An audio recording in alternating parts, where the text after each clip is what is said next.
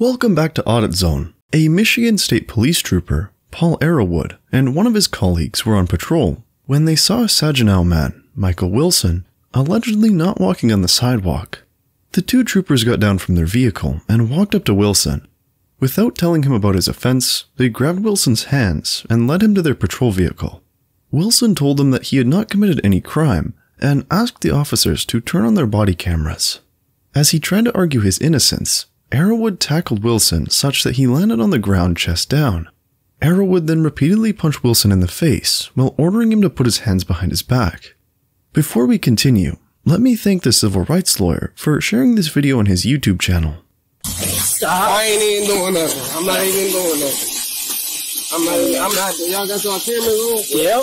Please do. Because you got time on put your hands there. Hey, why you trying to do that to me? Hey! Hey! I, I can get my hands behind my back, bro. I can get my hands behind my back. Oh! Roll over. Roll over. Roll over. Roll over. Or you're gonna get tased. Roll the fuck over. Roll over and you're gonna get tased. I'm gonna fucking tase you, man.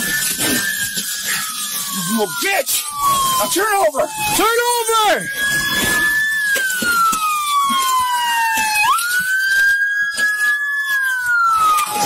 Put your hands behind your back. Put your hands behind. The crime allegedly committed by Wilson was his failure to use the sidewalk. That allegation is supported by Section 257.655 of the Michigan Vehicle Code, which states where sidewalks are provided, a pedestrian shall not walk upon the main traveled portion of the highway. Where sidewalks are not provided, pedestrians shall, when practicable, walk on the left side of the highway facing traffic which passes nearest. A person who violates this section is responsible for a civil infraction. So we could say the troopers had probable cause to detain or arrest Wilson. However, from the onset, they approached this man with excessive force without even telling him about his crime. The Michigan State Police has policies concerning the use of excessive force when carrying out official duties. Section 02-06-2 of the Member Conduct and Authority Policy defines excessive force as force that is objectively unreasonable under the circumstances, or that otherwise clearly violates department policy governing the use of force. The policy further states enforcement members who use force to intervene shall do so consistent with department policy governing use of force. Physical intervention shall only be attempted when it is objectively safe to do so. In the case that there are more than one officer on scene, enforcement members who observe indicators that excessive force may be imminent, such as obvious anger, loss of composure, or intentional escalation of an encounter, shall intervene by taking reasonable steps to prevent the use of force by the other person. The other members on the scene shall take all reasonable steps necessary to prevent or stop the use of excessive force or unnecessary violence committed in their presence by other members. Also, as seen in the use of force policy, enforcement members are to de escalate the amount of force used proportionally to a resisting subject's de escalation of his or her resistance. The enforcement members are trained to utilize multiple forms of de escalation techniques, including but not limited to verbal skills, physical skills, restraints, and less lethal tactics. Based on all these policies, it is clear that officers of Michigan State Police are only to use excessive force if a suspect resists them excessively. In this video, Wilson only mildly resisted his detainment by arguing that he had not committed any crime. The use of excessive force by Arrowood was absolutely unnecessary.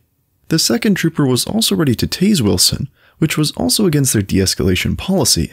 More officers arrived at the scene and helped put Wilson into custody. Arrowood then claimed Wilson was resisting.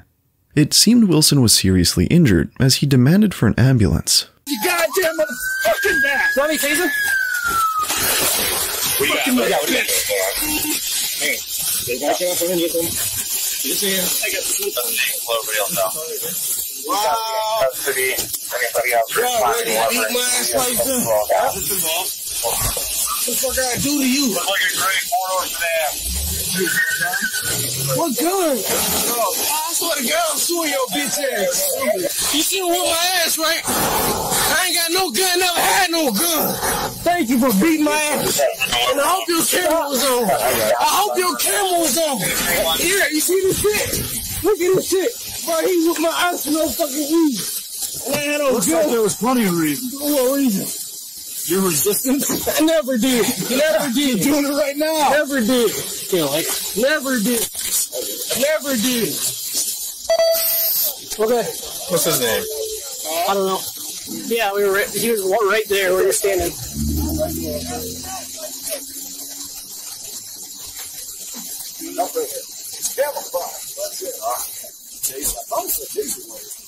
No, I had it out because I was gonna tase him, but No, I just. Maybe it's because he's got like reflective stuff on his like, shiny stuff on his neck. Where do you guys see him at originally? right here. So there's no chance he threw nothing. No, we, we were, he was he didn't even see us until we turned our lights on. Is anybody missing anything? Barbara? No. No. Hey, what's up, buddy? Hey, can I get out? No, just sit here. I'm beat the fuck up. He beat me the fuck up. Him right there. No, look at my fucking face. I didn't do shit to him. I didn't do shit. I didn't do nothing.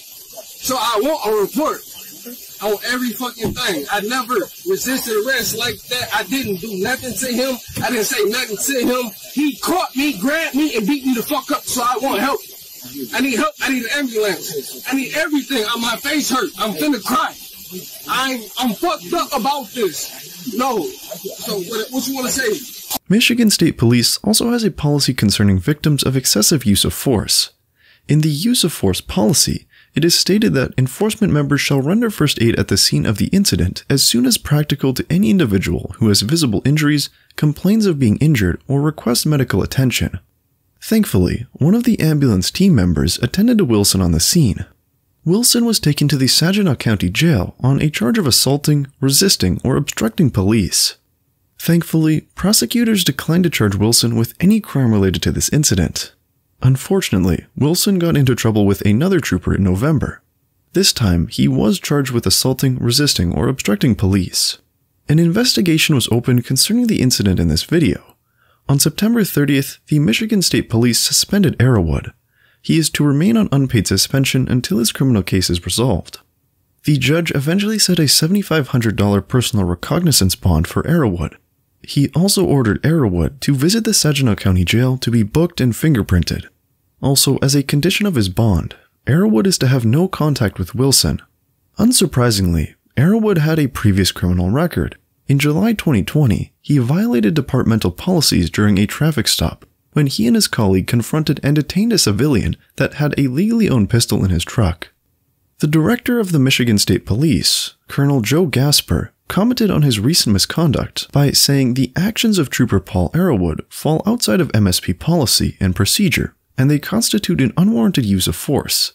The members of the Michigan State Police are committed to treating everyone with dignity and respect, and we will tolerate no less. When we fall short of this standard, we will hold our members accountable. I commend the director for bringing Arrowood to accountability. Let us hope more police departments follow in his footsteps. Well, that's all concerning this video. Thanks for watching.